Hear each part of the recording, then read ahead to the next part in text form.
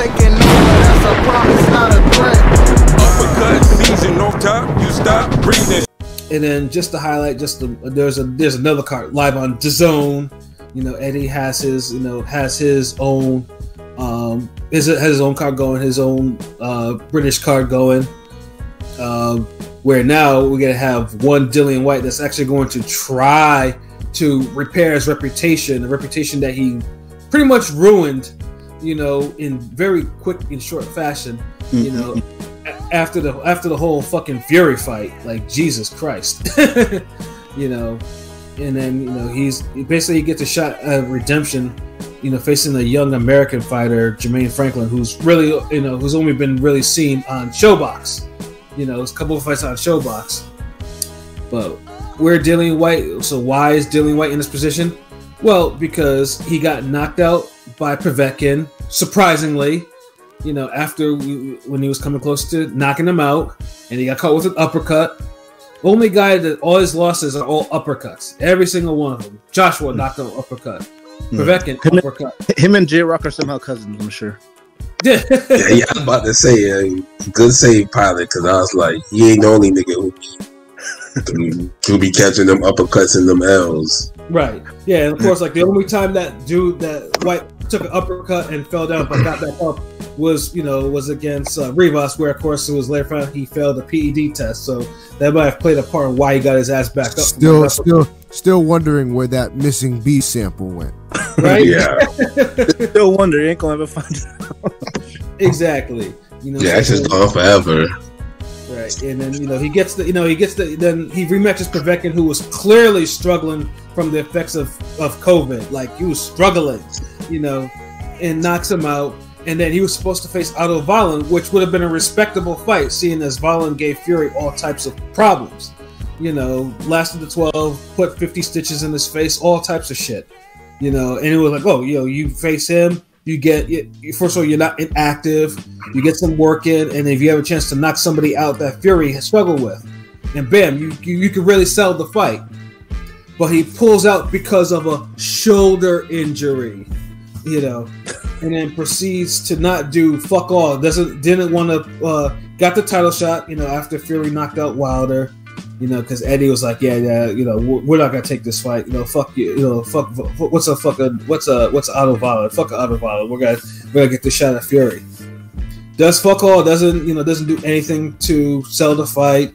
You know, has an attitude, and then when you see him, this motherfucker looks like he's you know he's been eating. Like he hasn't been. He, he was you know he- wasn't doing no type of training or anything like that. And he goes into the fucking ring, and he fights like a fucking caveman. Like, yeah, that's much was it. And then Fury ices his ass with one uppercut. So it's like, yeah, Yeah, I mean, I, is- I thought I, I thought Whyte was maybe it was a bad performance. I, I thought he was better than that. You know, I, I, I thought he was better than that too. Like I couldn't believe this bullshit that he pulled, but it's like now Eddie has to, you know, rebuild him because it's like, you know, is because apparently Stay rebuilding this nigga. And they have to because and the funny thing too, Whyte used to be so consistent. Like Whyte was, you know, was a consistent fight. Like, like at one time, you know, dude, dude was a legit top five heavyweight, but now it's just like, you know, he's you don't know where his mind is. I mean, or, or right now, Yeah. once upon a time they thought Wilder was ducking him for years. I mean, he he was. He That's- was, nigga. What the fuck? Just I know, because you I- don't think he would have won, don't mean he ain't a duck. Yeah, because I mean, no, no one he, he- have been. he ducked Dillian Whyte to fight Tyson Fury. I think that was a good choice if that's a duck. Nah, he was ducking this man for like four years. Y'all seen the text? Y'all y'all seen the interview? Like, Yeah, and like, then, and then Tyson, dude, Wilder, like, what Breazeale was the first ranked top ten contender he defended against. Like all these all defenses Wilder was having, they weren't no real like ranked de- defenses. They were just niggas that they were just giving him the fight. That's why we always be shitting on his goddamn resume. right. And Whyte was there, and Whyte was actually putting in enough work where it was we can validate Yeah. the title shot during Wilder's title run. Basically, basically, Wilder ducking Whyte would be like Charlo refusing to fight Fundora. Right, right. You know, say, and that, and that was the part, and like I say, and that's where we, that's where why we put respect on Whyte because Whyte had built himself a nice who's who of who he was beating. Dude, Whyte got a better, better resume than Wilder. That's the crazy part about it. That's why it was looking bad. Like the thing is, a lot of times people only want to apply logic and be rational when it's their favorite fighter. But the true test of objectivity is doing what's right for motherfuckers you don't even fuck with. Right. Like no one's, not- I mean, no one's like niggas think he's saying all this shit make me a fan of Dylan Whyte. Nah, he cool. He alright. He makes some good fights, but you know, I ain't gotta be a fan of him to, to say you know Wilder ducked him. Shit, it's Yeah. true. It's facts. it- it's absolutely true. Yeah, there's no, there's And no. it wasn't. It wasn't because of fucking Tyson Fury either. Yeah, nothing to do with that shit. Yeah, Fury because like I said at the Fury time, wasn't even in the picture. Right at the time, because when Ty, when Wilder was talking that Fury shit, because Whyte was already put up the performances, and Fury was out there eating candy and smoking candy and snorting. Yeah, yeah. just So with Ricky Hatton and shit. yeah, so that, that was the thing. Fury, you know, was looked at at, like people always forget, always likes to forget. Fury was looked at as the soft touch, not Whyte. He was the soft touch. You know, that's why Wilder went after, and then it and and, and it backfired on him because he, you know, the cherry picking, you know, came to an end because when he realized that oh, Fury's an actual better boxer than Wilder, a far better boxer than Wilder, and a more probably devastating puncher than Wilder based off the results of the three fights. Yo, So yeah, I mean, so you know, shit happens. That's what that's the that's boxing god shit. But Whyte now has his own boxing god situation going on because Jermaine Franklin is is is unheralded. Like you know, he had. I mean, his best win is probably the Rydell Booker fight. You know, someone that mean LB watched when he, when he lost to James Toney all those years ago. yeah, So, and the funny thing too is that, and dude, Dude's, I mean, dude, I'm not saying dude doesn't, I mean, dude can fight a little bit. He does have enough power, enough power that he could probably, he can knock out Whyte if Whyte is caught slipping. You know, because I know Franklin has actually put out videos of him working on an uppercut, working on uppercuts. oh, I like that. Yeah, so yeah, it, it, so it would it would be so like this fight has all the makings of a knockout. Like, I mean, I think we're all in agreement. Like, Whyte should win this fight if he wants a chance to actually go for it. Because the winner of this fight will probably be Joshua's next opponent, based on what Eddie Hearn is saying. Um, because yeah, a loss to Jermaine Franklin and that is, and pretty much I think Whyte's career is probably nearing done. you can't you, this you know this this is a fight that we believe that should end in a knockout and Whyte should absolutely put him away. Like this is not a fight, so Whyte better be in that fucking gym, like training his ass off, like you know. And that's why this fight mildly appears to me because it's like because you know, fucking Whyte will get iced by an uppercut if he's not careful. So, yeah, I mean, the, yeah, I like the I like the Fabio Wardley, the, the the British heavyweight prospect on there. There's, there's a couple little fights I like on this card. Yeah, yeah, I'll, I'll be watching it.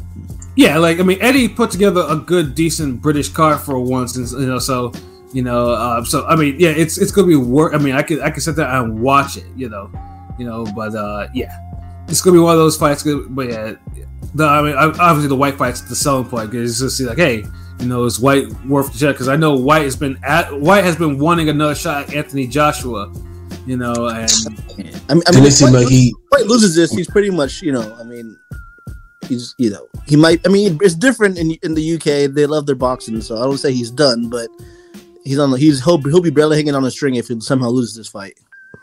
Dude, I don't even know about that. Chisora is fighting Fury, so hey. Yeah, yeah, that's true. yeah, And it's like Whyte just seemed like a guy who know who never take advantage of his opportunities.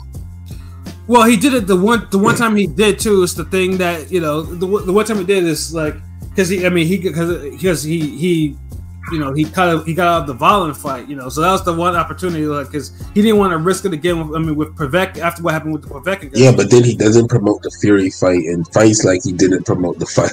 yeah Yeah. yeah no, that's, yeah so it's like that. It's like, come on, bro. Like, Yeah. Yeah like Whyte and yeah that was that, that was a big disappointment I mean and and he was still making like eight million dollars, and he bitching about money. Like, motherfucker, it's like, Yeah, yeah, Yeah. like Whyte, and, and like I said, we like we don't we don't dislike Whyte. We, we all we like Whyte's been enough scraps. We put enough and respect. he make it hard for you to root for him. I don't really, I don't really give a damn about Dillian Whyte, to be honest. Yeah. Yeah, the, but he just he just somebody in the division, you know.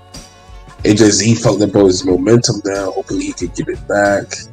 Yeah. Plus, Yeah. he's an he's an annoying showman, but whatever. It's like it's like yeah, heavyweights from like He six is. He is.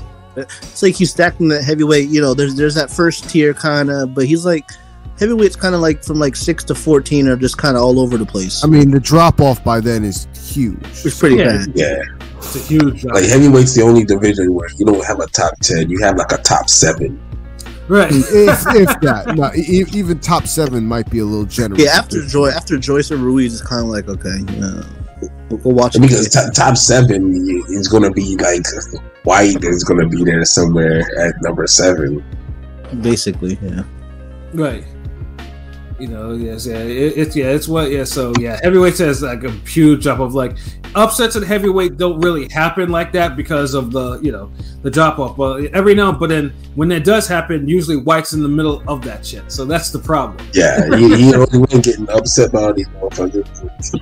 Yeah, and, and we and yeah, because I'm pretty sure should he get knocked out, Franklin will probably make an appearance on. He's uh, if I if I'm not mistaken, he is currently not ranked in any of the four uh, sanctioning bodies. Oh no, excuse me. no, he's with the WBO. He's WBO. He's a WBO ranking right now. But uh, yeah, he's like this is not a guy that you know. You know, you don't want to make him a de facto top seven heavyweight. Right. Oh, I mean, there's oh, a fight. Uh, the Lord. Balakis versus Craig Richards might be a, a low key sleeper fight. So if y'all, if y'all, It sounds like you really feeling this card, nigga. It just sounds like a bunch of damn jobber festival on this bitch. It's some random European names that I'm just not interested in. What's that sound? it ain't me. Oh, I got to say, it's like Jesus, like it was a Nah, but but this Balakis nigga is kind of entertaining. And Craig Richards, I'm just saying. I'll be- Balakis, hold on, who's is that? The bald head cat? Yeah, he's a bald head. He looks like he's like the he's like the 168 or 165 cheeseman. You know what I'm saying? Like he's always in these little scraps. That's all. Oh my god! Can we stop comparing everybody to Cheeseman? Oh, I don't know why he's the guy that everyone just throws in. Like, if you're a guy face first forward, good action fighter, you're Cheeseman. Yeah, I mean, yeah, I mean, Cheeseman. I mean, Cheeseman hasn't even been Cheeseman well because you know he's currently you know trying to get his shit together because you know he's been getting into all these wars. I mean, hey, I mean, I guess I mean if Ted, I mean, because you're not the only one. Cause people on boxing social media like to use Ted Cheeseman's name too. Like he's he's like the de facto example of a British fighter who gets into too many fucking wars. I just saw. Um, I guess Frank Warren's put on Zach Parker versus John Ryder, Canelo's next opponent. that's that's on as well on 26 randomly. Well, God bless him. I don't give a damn about that fight. Oh no, that fight's this weekend too. No, yes. no, no. Zach. Not that- yeah. It's not that weekend. What are you talking about, pilot? It's not this weekend. It's not that weekend. No, Yeah. but uh, but yeah, you know, but you know, yeah. If you want to watch, you know, if you want, if you want to watch uh, Whyte do his thing on DAZN, well, that's what he's, he's gonna be in at Saturday afternoon. You can watch that before you watch Prograis and Zepeda do their thing uh, uh, Saturday night.